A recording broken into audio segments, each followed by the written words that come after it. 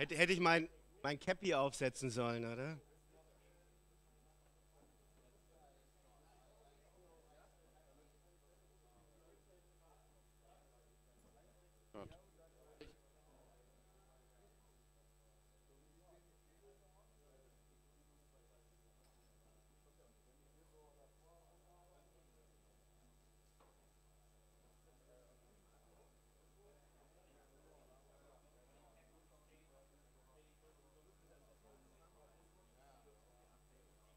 Oh no! Ah!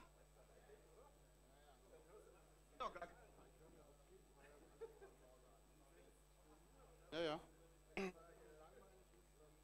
Ah, es sind ja diese Viernetzger-Leute hier. Den billigen Plätzen.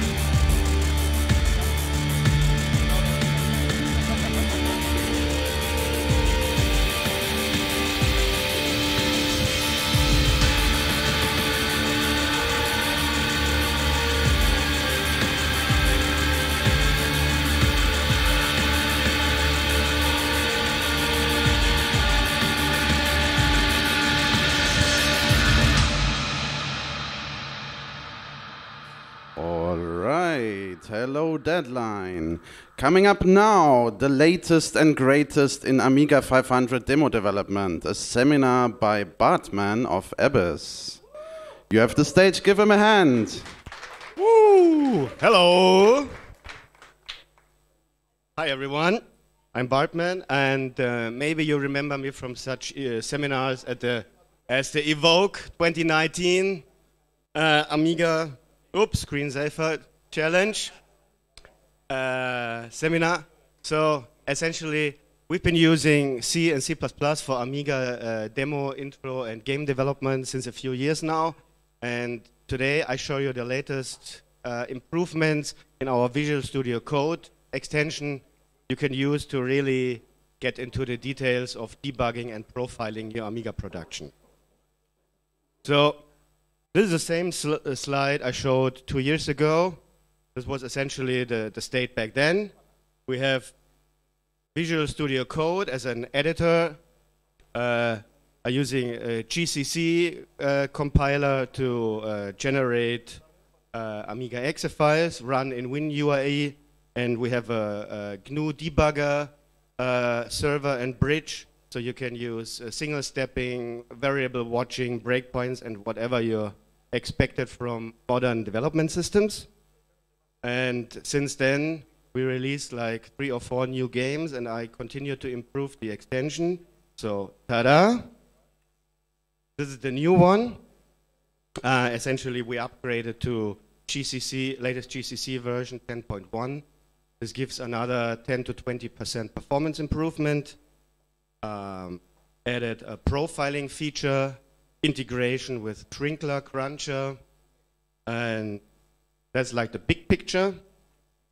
And uh, maybe you saw the screenshot from the uh, Deadline website. This is what where, where you'll be spending most of your time in the extension if you're profiling or debugging your production.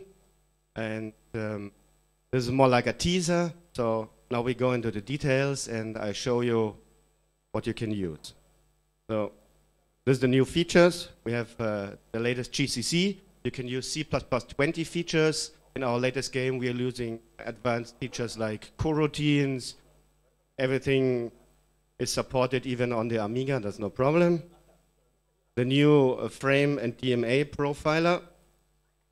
We have a graphics debugger for copper and blitter and all your bitmap resources. Uh, you can view the contents of all custom registers at every cycle in the frame you want. Um, You can profile your file size down to the last function or data. Uh, I did a Shrinkler integration where you can shrinkle your productions directly from Visual Studio Code and get a profile view that tells you how much each function is compressed.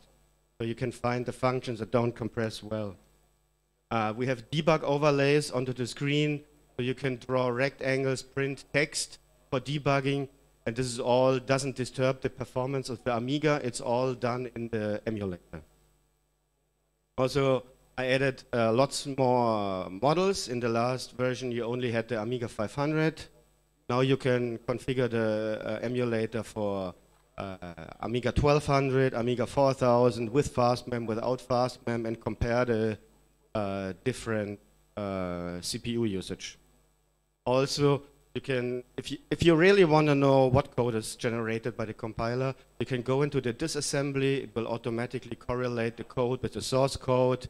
Uh, we have uh, 68,000 cycle timings uh, based on the data book and also uh, profiled from the game with all DMA latencies and whatnot.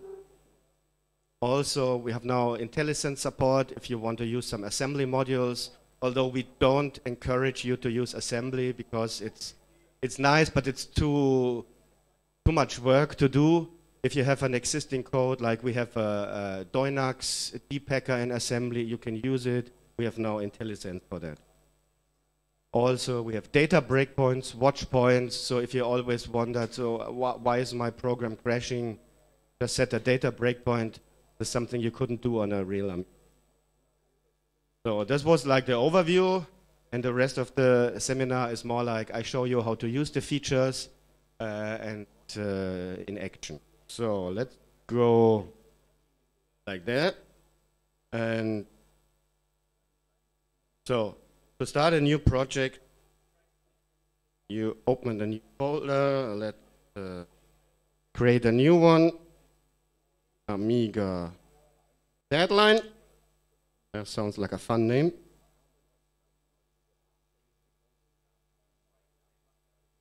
Yes, I trust myself. Then just, yeah, woohoo, barely. Then use, the, use just the Amiga init project command that's added by the extension, and you get a whole skeleton example, everything set up. So we hit F5 to compile. And I don't know, my notebook is a bit slow and old. There we go. So, watch the best intro you have ever seen in the last decade.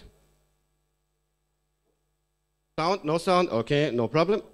Um, yeah. So this is just something to demonstrate. We have a copper. We have, this is the debug overlay.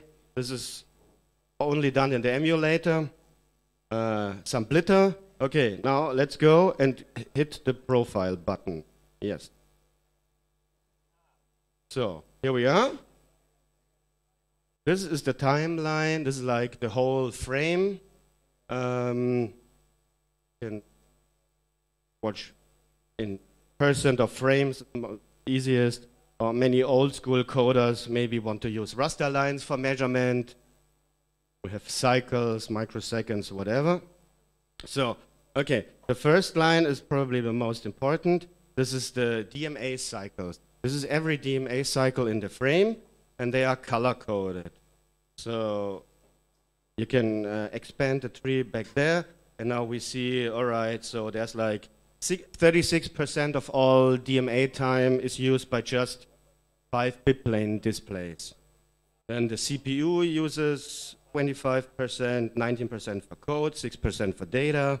The blitter is using 22%. There's some audio and some copper. And you can now drill down into the, the time. So we can zoom in and we see, okay, this is CPU, code fetch, code fetch, data fetch, uh, data request writes to Blitcon. Line color, everything's there. And then back there, oh yeah, that's the blitter. And of course, you want to know what the blitter is doing. So the next line is all your blits that are occurring in the frame. Shows you the, the parameters and the preview. So you can see this, these are these uh, Abyss logos splitting around. So this is using like, uh, I don't know, six, six raster lines. They're all here. Um, of course, this is the blue one is when the bitplane DMA is active and you're seeing something on the screen. Um, that's these cycles. And yeah, of course, you want to know what is my program doing. So we have here like a flame graph or call stack of your program. This is wait blit, okay, with nothing. Oh yeah, this, this, is, not no good code. It's doing a 30, 32-bit division on a 68,000. But uh, yeah, that's just an example. But you can drill down. Um, you can, so if you if you want to use see all your all your graphics and what's going on, have a few calls where you register your your resources so you can view them in the graphics debugger. So this is currently what the, what is generated from the copper list. The copper list is on the right side and yeah, okay, make it a bit bigger. Um, these are these are not the copper lists you create, but this is exactly what the copper is executing at each, each position. So if you design your copper list and uh, you hope that it works, but you don't know if it's executing at the same position you expect, um, you can check it here. Uh, of course, you can use the time slider to check what where the copper position is at the corresponding uh, display line and, and pixel position. And also, so if you, you can watch all your bitmaps, this is, this is the main screen. And now we can scrub through the frame and you see, according to what is happening in this frame, where, how the blits are occurring in like real time. So first we're uh, clearing, and then we're splitting all those. Um, there's like an additional features. You can do split rect, rect overlays, so you can see where are all my blits. Uh, and the, the, the blit that is currently executing is like thick, thick outline, all there. Can watch your uh, overdraw. So you can check, oh, do I do blits at the same position? Want to do this or not. Um, we also have uh, all the blits in the frame in this list. So it's the same thing that's ordered by uh, position on the screen. Time-wise, you can scrub through and see in real time what's happening with all blits, source, destinations, all the channels. Um, here on this side is all the custom registers that are valid on this location. So if we go like to the blitter pointers and scroll a bit around, yeah, you see them changing as they their bits. yes. So, all right. So essentially most of the features you don't have to do anything in your code. The frame profiler just uh, it gets the, the function names and all the call stack information directly, generate the debug information from the compiler and the linker. So you can also go down if you want to check which function is using um, CPU time by opening up the tree view in the profiler see uh, interrupt handler start, and then drill down. It shows you which functions are inlined, how much they use. This, this is all done automatically. You don't have to do anything. If you have, want to have the, the names and the information for your bitmaps, uh, there's some calls like debug register bitmap. Just takes a name, size, number of planes, some flags, can register palettes, so you can watch your uh, bitmaps with different palettes. You can register your copper list, and that just helps in the, the debugger to symbolize your name. So, and instead, the copper is executing here. the DMA request shows the name of the bit plane and not just a random address you allocated from the system memory. So that's nice. Um, we have another nice feature that's maybe not useful in this example, but if you do like like games or demos, of course the, your, your CPU usage isn't the same every frame. It spikes around and maybe you have some frames where it's too slow and it's a bit hard to press the profile button at the exact frame. That's too slow. So on the right we have profile multi that captures 50 frames and when it's done, yes.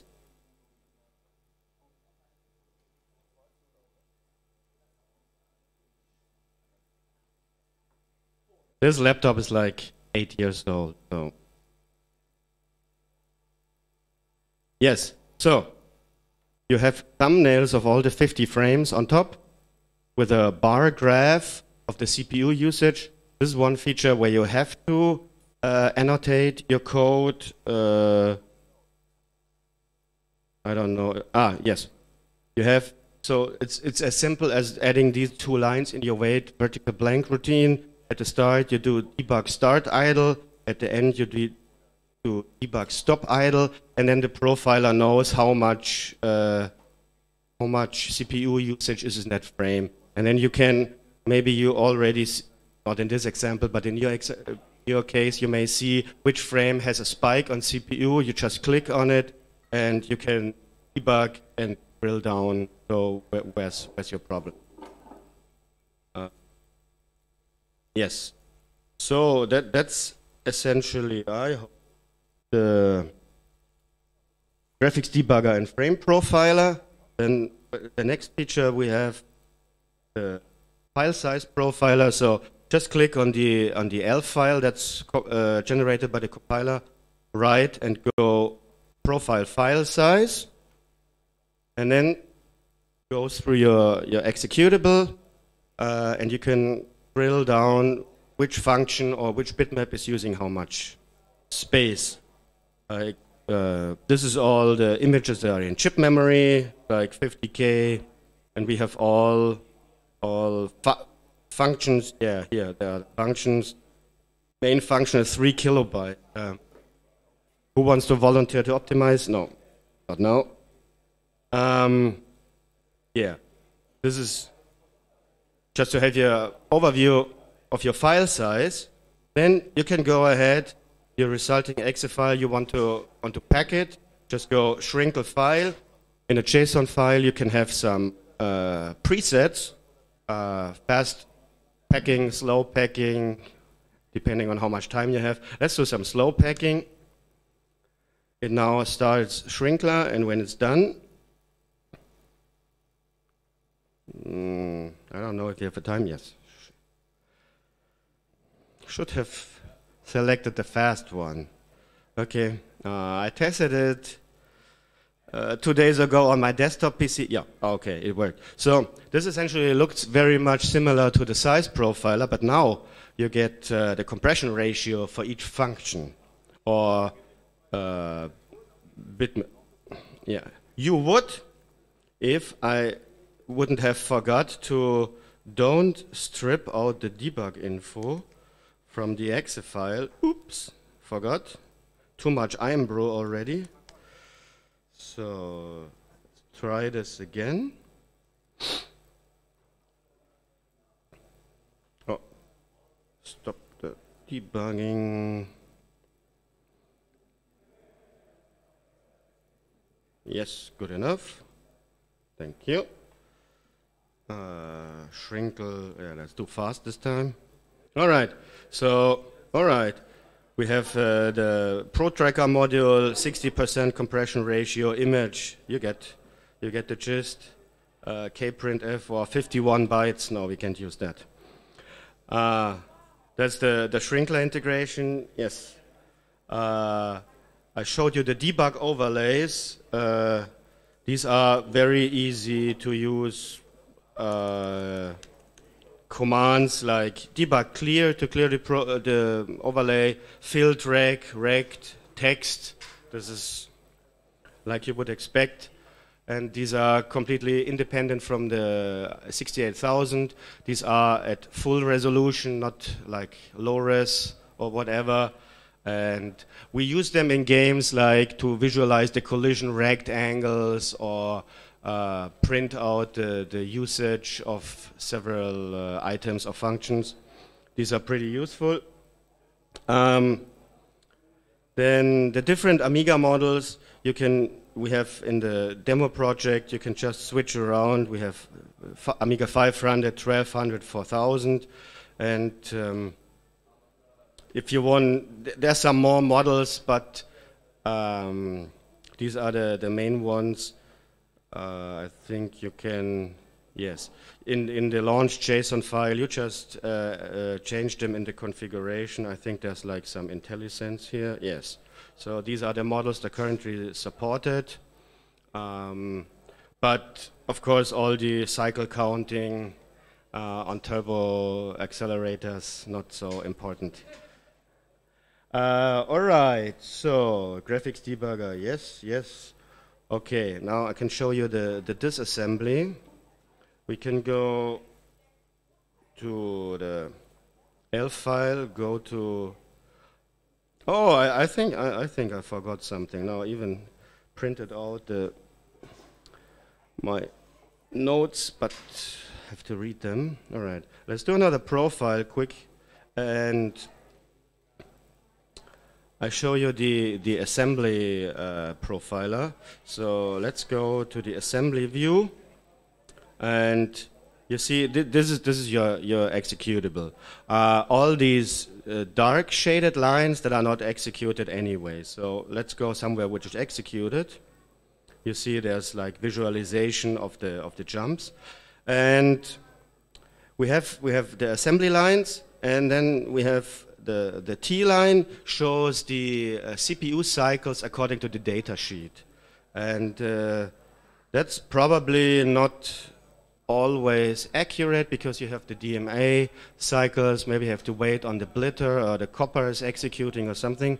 So these other columns show us that this instruction was called 16 times in this frame with an average of 42 cycles. And these are direct measurements from the emulator. This is not data sheet. This is numbers you can trust. Uh, so all the executions of this line is like 670 cycles. Of course, on the right side, you have the reference to your source file. Just click it and you know, ah, yes, is this line. Oh, maybe someone else could optimize it.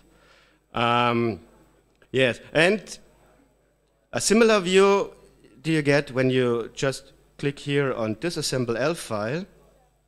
This is pretty much the same, but of course there's no profile information, so we have to rely on the datasheet cycles. Um, but the, the, the, nice thing is you can just use your cursor, navigate around, and it automatically, on the right right-hand window, it jumps to the according source line. All the my cursor is on the blue line and all the gray lines, that's the same source line. So you can just go through, you get a, a, nice highlight of the, of the branches and loops, and you can see, oh, these three assembly lines correspond to this Z line. So you can step through and see which assembly is generated for which uh, source code.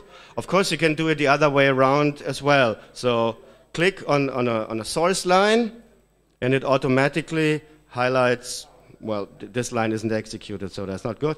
Um, it automatically highlights the, the assembly um, code. So let's go maybe there. No, not good. Uh, wait blit, that sounds like a good function.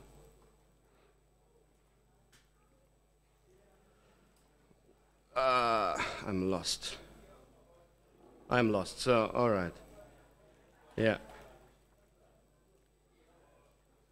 All right. So, it finds the references, and if the compiler has inlined your function multiple times, you can go through the results with these arrows, so you find every instance of generated code. And uh, this was really helpful for us. In a, uh, usually, hopefully the compiler is good enough to generate nice assembly code from your C code. But sometimes if you have a tight loop, you want to see what's going on. And this is really helpful when you see, wow, uh, that, that doesn't, doesn't look right. We have to do something else. You just hit recompile, uh, go to the disassembly again and see does your cycles change. All right. So what do we have now? No. I talked about the, the assembly integration, so we ship with a uh, default um, example, we ship like this uh, Doynax depacker that uh, we used quite uh, often when when we ran out of chip mem and we need to uh, store something compressed in the fast RAM and uh, unpack it on the fly to chip RAM. So I have to admit this is like the, the GNU assembler syntax, so it may be a bit unfamiliar for if you're used to uh, ASM1 or whatever. But um, I did some, some IntelliSense support, so you can hit up, this is, oh, no, this is not, ah, no shortcuts on this one. Uh, what, um, some, Ah, yes, okay. So you can use go to symbol and all the, all the labels are here for easy navigation. Uh, of course, you can go onto a symbol, hit F12 and, nope, wrong key, it's too dark in here. So hit F12 and you can jump around. So that's, uh, that's what, what's supported, like uh, semantic highlighting uh, and definitions. Um, Okay, I have uh, the, the watch points. Um, usually, that's, I don't know if that's interesting, but I'll show you anyway. I think we have some time left. Yes. Um, hit F9 for a breakpoint. Start. Oh, I have to. Uh, no, wrong key. That's one's better. Yes, good enough, sorry. Ah, yeah. Okay. Let's uh, hit, a, hit a breakpoint somewhere in the main loop. Yeah, that's fine. So, of course, you can now, all the variables you have up there. Hit right mouse button and do, you have three, three watch point types, of course. Break on value read, break on value change, or break on value access. Uh, access meaning uh, read or write. So let's do that. Hit F5 and will it work? Maybe, maybe not. I don't know. Apparently not. M Murphy strikes again, but this is how you use it. Maybe it works for you, I hope.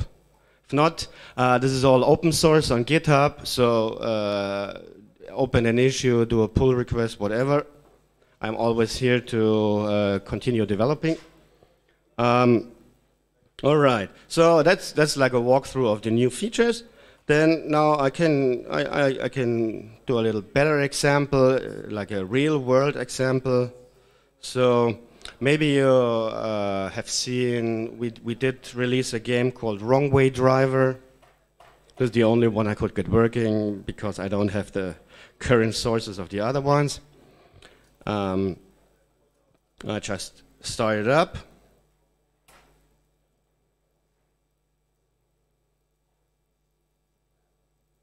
Yes. Uh, no numpad. Uh, oops. Um, all right. Um, Okay, you can already see the, the debug overlay down there, or maybe it's a bit uh, small. Let's do the big better. Yeah, so we have some statistics about our sprites. You can, of course, print anything you like. Now let's try if we can get, uh, where's the game ports? Uh, I don't know. What's this? I don't have a numpad. Yeah, use F1 for. Ah. No. Okay. Uh, this is not working. Okay. So this is um, not good. Um, so no in-game for you. All right. But nope. Uh, oops. Wrong key. Yeah. Next time, don't bring an old laptop.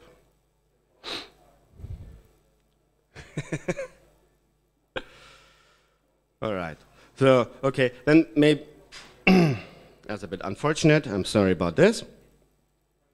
Let's do a profile, and then we can see a bit something that's going on in a, in a more real-world example. So this is what it thinks it sees in the copper, but we have here all the resources allocated with previews on the right side, uh, all the sprites, the pre-calculated, um, the, the zoomed, pre-calculated zoom sprites, uh, score, I don't Oh, there's, there's a screen. I don't know, have it? Oh, we don't have any blits in this frame. Yeah, but, okay, th this is how it works. I'm sorry. Uh, move on to the next section. Oops. Um, yes, so as I, as I said before, we have used these development tools now for like four or five productions. Um, so the title of this talk said something about demo development. Sorry, that's not completely accurate. We did mostly games the last few years. Um, but uh, as these games have also been developed using this uh, extension, I can tell you maybe a little bit about the, the implementation, or you can have a look if you don't know them already. Do we have maybe some sound or not?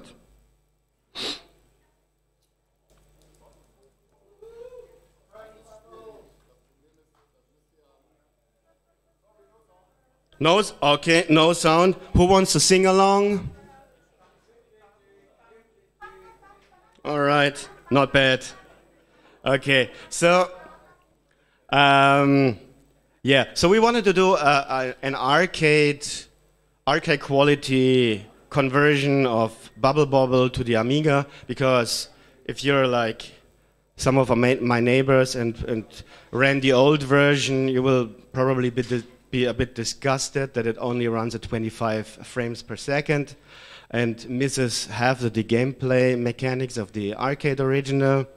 So we, we, we, we did a proper conversion and some, some technical details about this conversion is uh, instead of the original, which was like, I think it was a 100% identical port from the Atari ST using 16 colors running at 25 FPS. This one is uh, 32 colors, 5 planes and runs mostly at 50 FPS. I think yesterday we managed with two players and like 20 or 30 objects on screen to, to get it down to 25 but shouldn't usually happen. Uh, in this game, we, we tried a new approach uh, that interestingly, uh, apparently not many people in the Amiga scene used. We did a blitter queue that's driven by the copper. So we don't have to wait for the blitter and uh, just have the copper initiate the, the blit, uh, wait for the blit in the copper list, and then process all the um, blits in the frame. Um, this is nice because you don't waste any CPU cycles waiting for the blitter. On the other hand, you open another whole can of worms. That is, you have to make sure that all the blits in the copper list are completed before the end of the frame because the copper will restart the copper list at the beginning of the next frame regardless if the blitter is finished or not then uh, that's not good.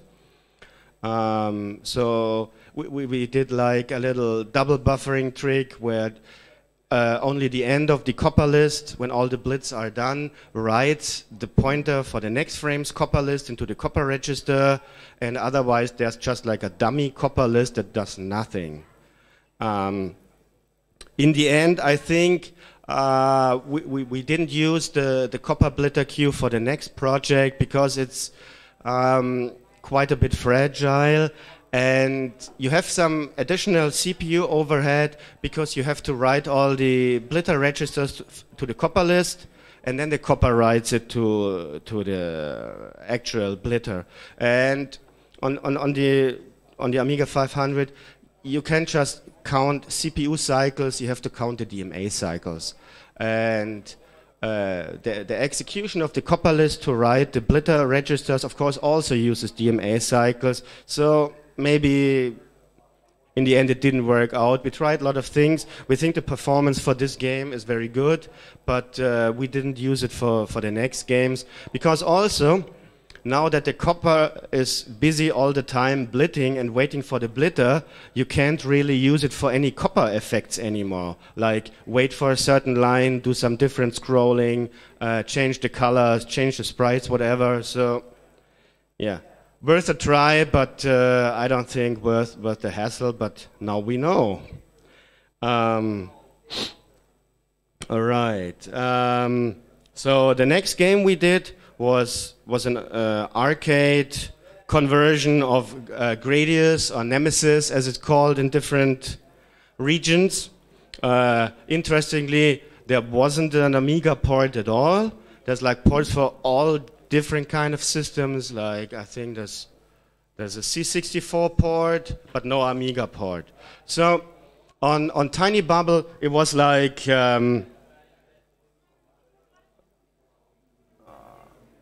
hold on one moment. Yeah, uh, with with Tiny Bobble, it was like um, uh, a lot of different people have already worked on reverse engineering and documenting all the gameplay mechanics. Uh, there was like a level editor available for Windows, so we could just use those level data. Uh, the, the map the, uh, map graphics and the sprite graphics have already been ripped, so we just converted them to, to 32 colors for Amiga, and this uh, yeah, that was wasn't was was a nice help, but for for Nemesis or Gradius, so.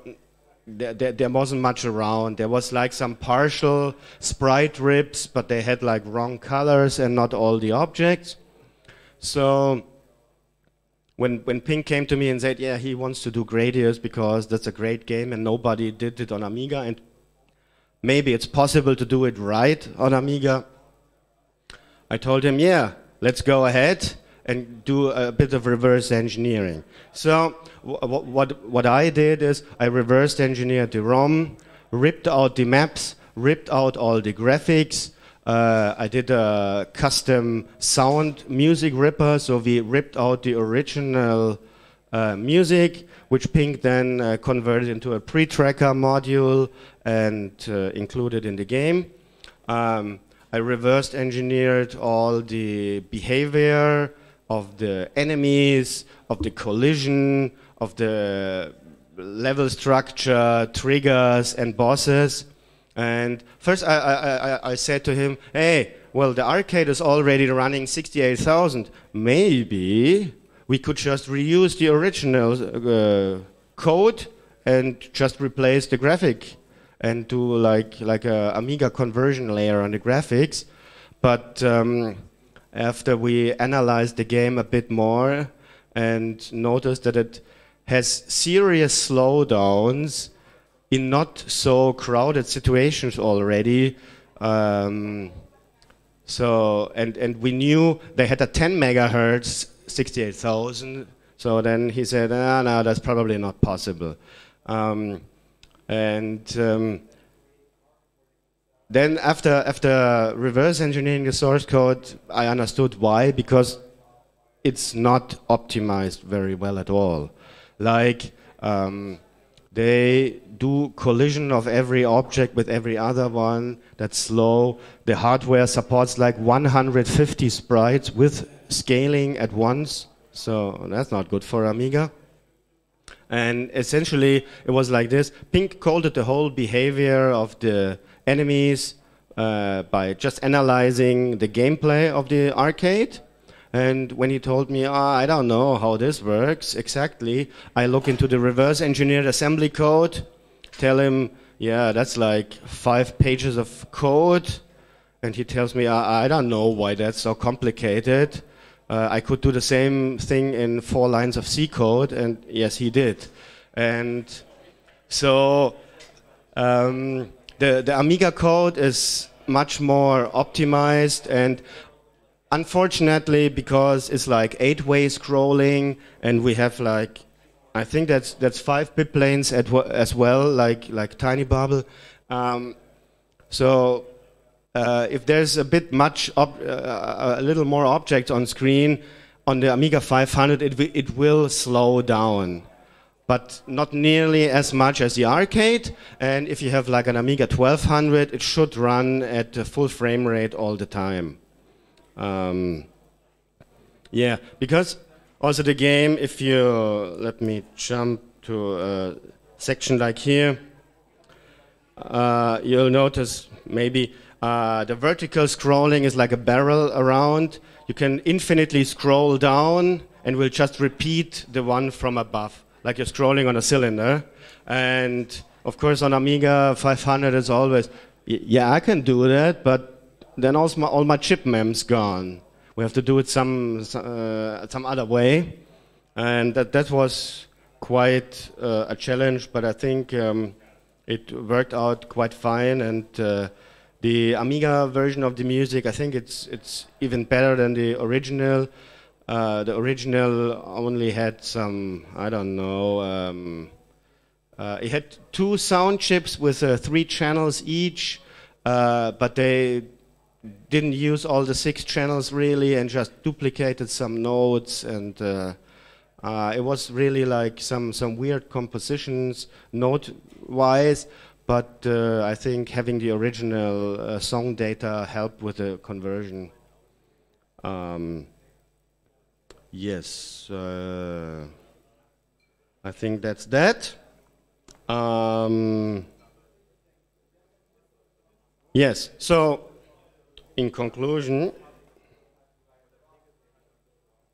I can just say you can now get the, the latest version on the Visual Studio Code Marketplace, so you don't don't even have to go to the website. Just open your Visual Studio Code, go to the Extensions tab, type in Amiga Debug, and try it out for yourself.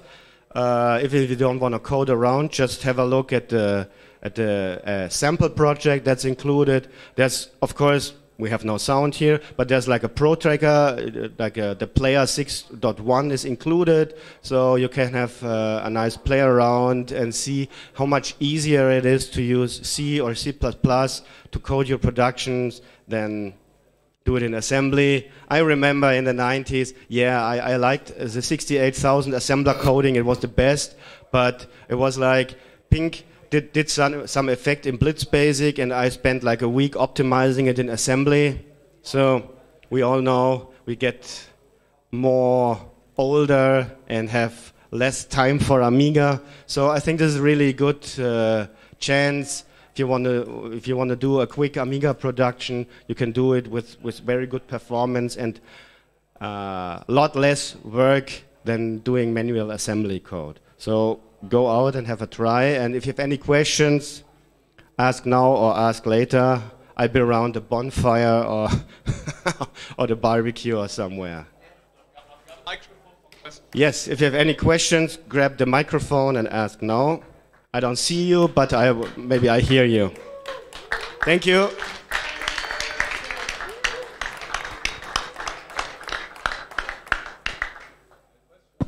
Um, I, I, was just wondering about the number of installs, just like 70,000 installs. When was it released? Uh, you're not the only one. Uh, I think it, I, I, released it uh, after Evoke 2019, and I remember what it was like at uh, 50 installs, and I was at, wow, that's great. So many Amiga coders? I'm not sure. Uh, maybe this, this is just Chinese bots? I don't know. Yeah, because I mean, 20, 25,000 Amiga developers in the world. Hmm. No, uh, it, it's more like 25.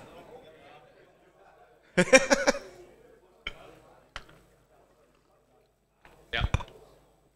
So, um, how would you go about using this for uh, track-loaded stuff?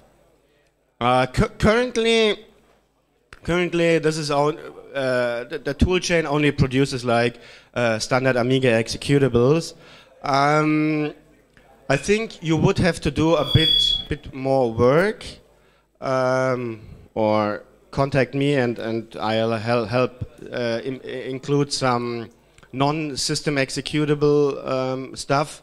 So currently it's not really supported but if there's demand, I, I can do it. So the whole development of this tool is largely driven by, by Pink wanting to do some Amiga productions and either telling me, hey, this doesn't work, can you do it? Or me uh, looking at him coding and, and uh, saying, wow, this, this uh, looks like it's a lot of work. Let me see if I can whip something up that um, does this faster without you having to do so much work.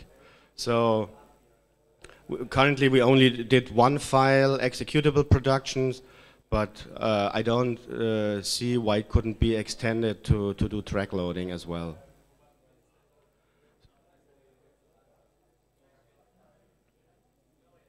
Um, another thing, so the um, you had this button to capture 50 frames. Mhm. Is that configurable so you could capture a thousand frames if you wanted to, or? Um, currently, it's it's hard coded at 50.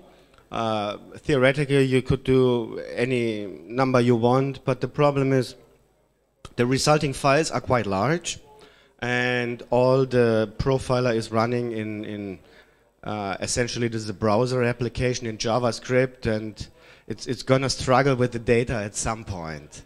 So maybe you, you hit a few times the 50 frame capture button and you find your frame you want to uh, you want to profile.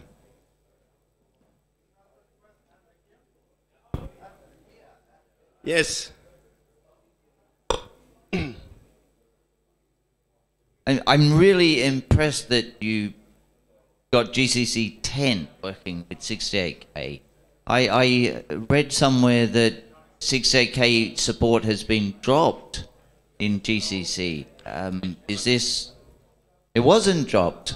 Okay. Yes, uh, initially it was planned to be dropped because they did like a rewrite of their condition code systems. But then, like, there was uh, a couple of, uh, I think, Amiga or Atari guys who collected some money together and, and paid someone to adapt the 68K backend to the new condition codes.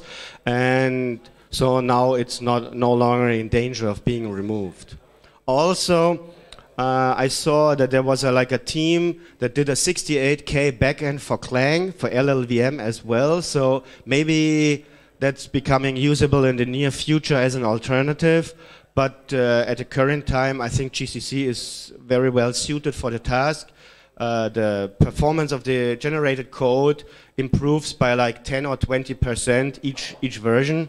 So when we first started with the, the 6.2 version, uh, going to, to 7 it was like additional 20% performance. Going to 9 it was additional 10% and going to 10 was additional 10% so that works out fine.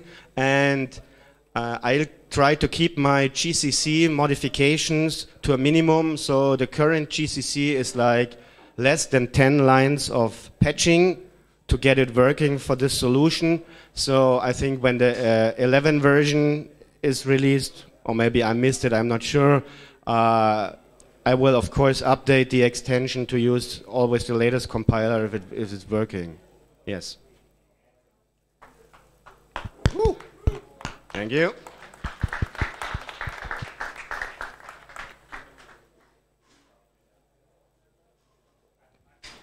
Yes. Uh, first of all, I'm really impressed with what was presented. Uh, Thank you. But, but the questions I have, you said something all the new C C++ features work, like coroutines and whatever. Yes. So what extent, like also the standard library has threading now and everything on Amiga DOS? Um, well, the, the thing is this, yeah. Um, th- this is this extension is, is is mainly intended for like demo and game programming, so there isn't really standard library support. Yeah, that's it. So you, if you want to use fopen, no, you don't. You use like the open function from DOS library from the Amiga. This all the Amiga libraries work fine. You don't have a standard library. Um, I have included a little bit of the of the C++ STL, uh, like type traits and uh, I think std function to support coroutines. But th- these are usually just just ri- ripped directly from from the GCC repository, uh, and you can use them if you want. So it's, it's a bit. Of course, I, I I don't do an Amiga port of the STL. That's like a nightmare to maintain, and nobody I know uses it. If anybody wants to do a pull request, okay, but I won't do it.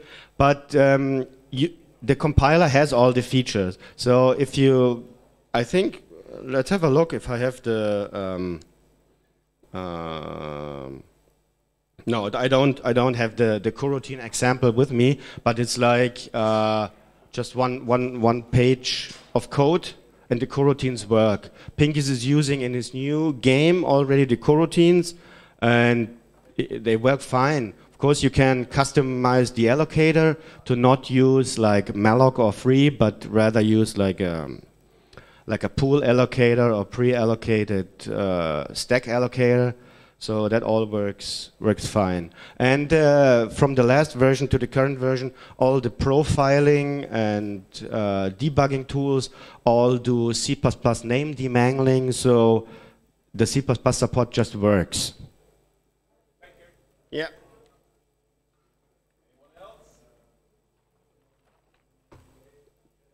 No one? All right. Go hammer those Microsoft servers. Have a nice day and come to the barbecue and bonfire later for some fire action. Have a nice day.